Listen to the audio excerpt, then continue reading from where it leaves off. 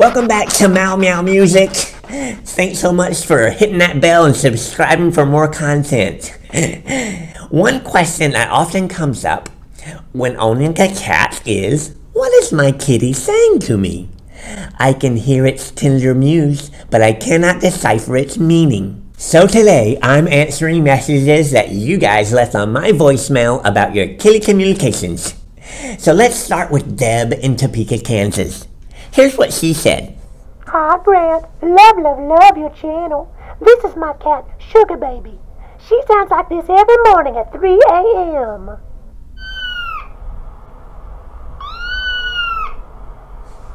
What do you think Sugar Baby's saying to me? Thanks. Well, Deb, thanks for calling. I listened very carefully to Sugar Baby's cries, and here's the translation Pee. I have to go pee.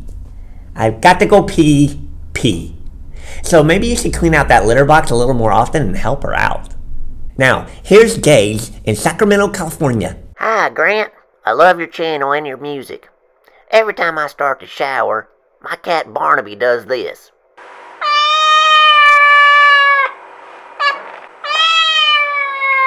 What in the world is she saying? And can you sing Kitties on My Shoulder sometime? It's my favorite. Thanks, Gage. I want to hear that one more time. Yes, that would be your cat praying, actually. Yes, he's saying, Thank you, Lord, he's bathing. Thank you, Lord, he's finally taking a bath. Yeah, and you can order kitties on my shoulders through my website. And lastly, here's Shannon in Ashtabula, Mississippi. She says, Hi, Grant. I have 16 cats, each whom I love very much. But one of my cats, Honeysuckle, sits by the window and makes this sound.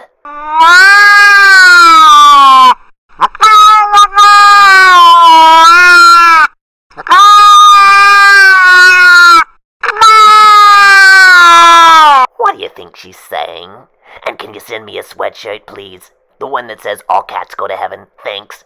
Samantha, I'm sorry to say this, but your cat is saying, Help. Please help. Anybody, somebody, please help me. She's crazy. You might want to look into getting a kitty therapist for your little feline so she can feel better about the trauma you're inflicting on her. Well, that's all the time I have for today. thanks, guys, and thanks for leaving those messages. And now, welcome to Valley Kids, or as our feline friends may say,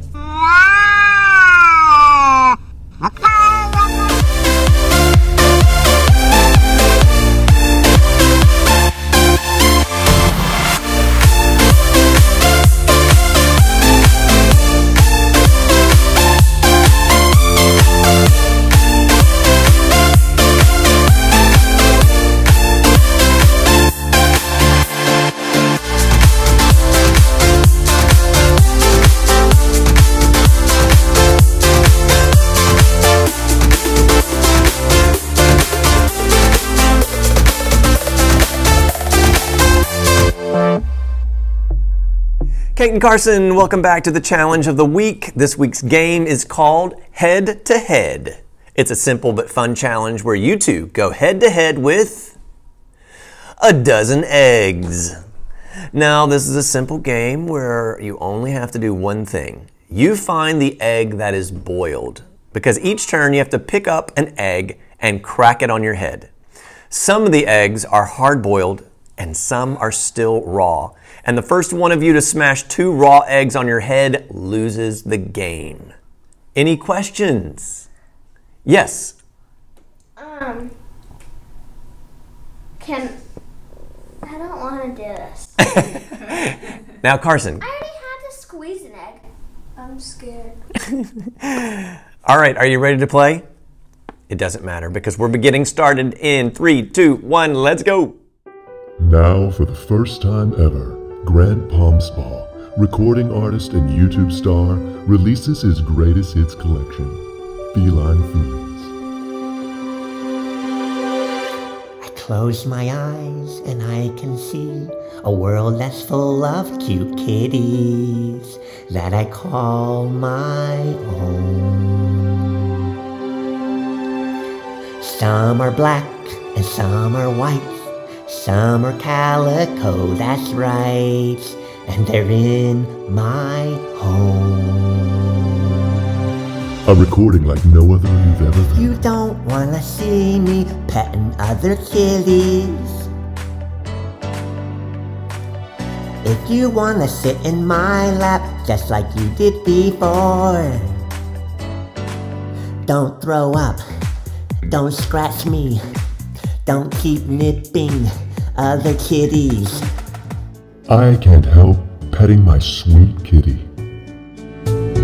My mom and dad say I need a date,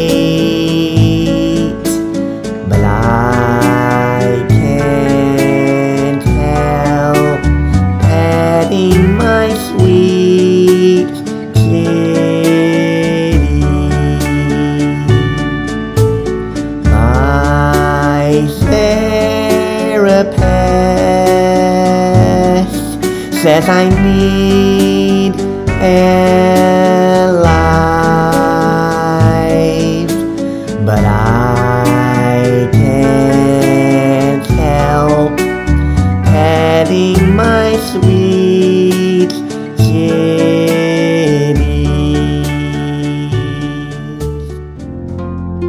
And kitty's on my shoulder.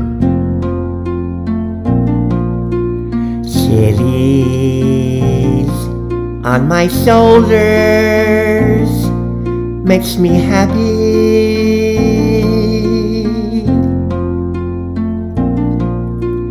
Cat breath in my face can make me cry.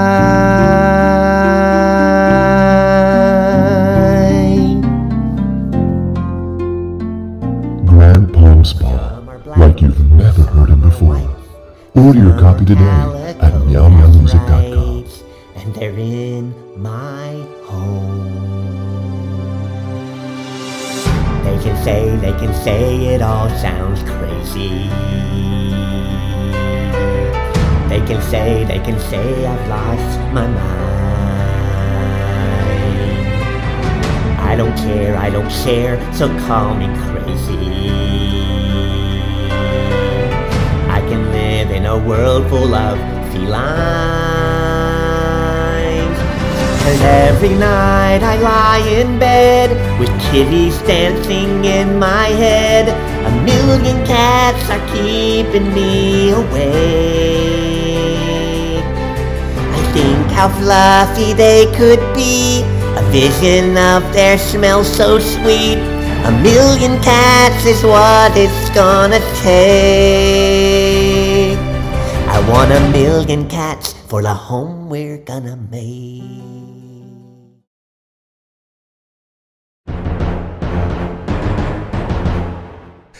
All right, Caden Carson, here we go. Remember, once you touch a cup, you cannot change change your mind on which one you want to do. Cate is going to go first because she's the girl of the group. I knew you wanted to, Cate. First time, I don't want to do All right, Cate, just pick one. Remember, there are four that are not boiled, and what is that? Eight that are boiled. All right, she's going with that one. I hope you feel good about this, Cate. Lean forward. Three, two, one. Ouch. Did it work? No. Lean forward and try it again. Oh! oh. That is definitely a hard-boiled egg. Good job, Cate. You can just set it on the ground, Cate, once you're done. All right, Carson's going with this one. Oh, I hope he feels good about this. Three, lean forward. Three, two, one. Oh, that is hard-boiled as well. Great job. Okay, here we go. Cate, it's your turn again. Three, two, one, choose. There it is. Lean forward, please. Oh, she does not feel good about this. Lean forward. It's dirty. It's okay. Three, two, one. Oh, that's a hard boiled egg for sure, because that sounded like it hurt. Great job. All right, Carson's turn. He's going with the big oh, one. No. That one looks good, looks good. Lean forward. Three, two, one. He doesn't feel good about this.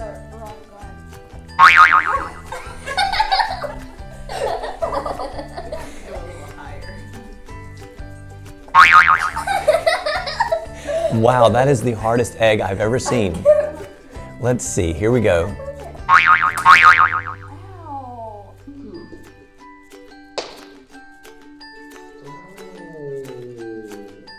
It's hard boiled. None of us? Wow, that is a hard boiled egg. Very hard boiled. Cate, it's your turn. Three, two, one. She's going with this egg. Carson thought the last one was raw. That's what Carson thought, though. No, I didn't feel it gushy. All right, here we go. Cate, lean forward and break it in three, two, one.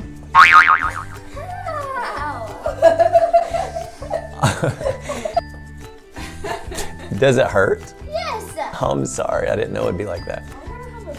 Clearly, that's a hard boiled egg, though. You can smash it on the ground just real quickly. There you go. That's hard boiled. It is. Yes. All right.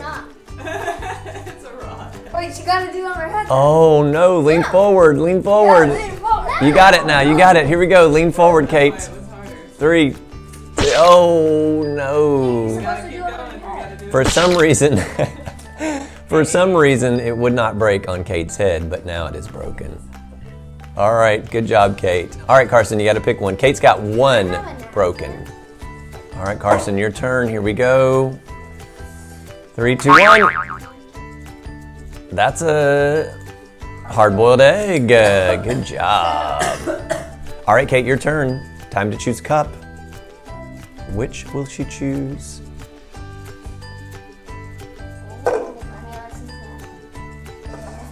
All right, Cate, lean forward. Three, two, one. Oh, that's a hard-boiled egg. Great job. Oh, you can see the yolk inside. Amazing. Carson, your turn. Cate's only had one so far. It's now time for Carson. Carson, you might get out of here with no yolk on your face. Oh, he does not feel good about this. Three, two, one. Oh, that was definitely a raw egg. Oh, Carson, use that paper towel and wipe your face a little bit. All right, Cate, there are four cups left. We know we have broken two raw eggs. That means there are two left. Whoever gets the next raw egg on their head is the loser. Here we go. Cate, take a, take a, make a choice. Take a cup. She's going with that one. Oh, she thinks she knows. Does she know? All right. Oh, you think it's hard boiled? All right, lean forward. Three, two, one, go. Oh, you are right. That is definitely hard boiled. All right, Carson, if you can avoid, this is the case. If you avoid the, hard, the raw egg, then Kate automatically is going to lose because the next one will probably be hard boiled. I mean, raw. Oh, All right, Carson, here we go. Make your choice in five, four, three, two. That's the one he chooses. That might be a hard boiled egg. He's wondering. Three.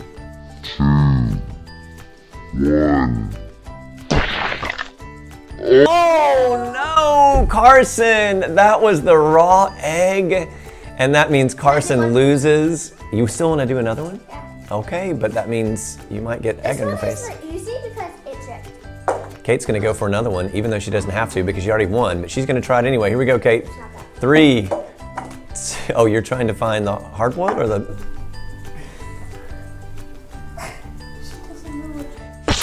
Oh, you found it. Oh no, it's on the floor now. All right, guys, good job. Congratulations to Cate for winning. I'm so sorry, Carson, but you are the loser in the game head to head.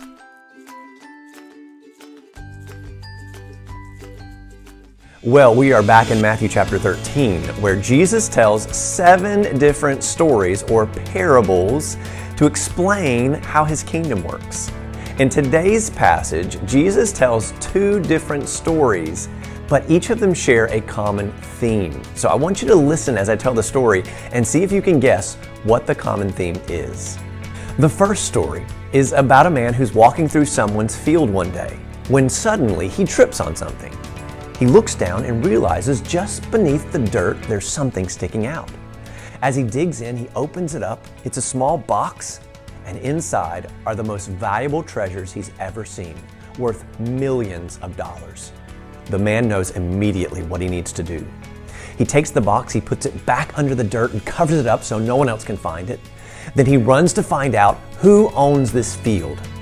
Once he finds out who owns the field, he goes back home, he sells his house and everything in it.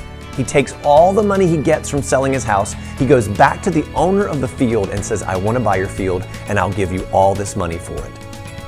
The man gave up everything he owned, but because he did that, he now owned a treasure that was worth millions of dollars.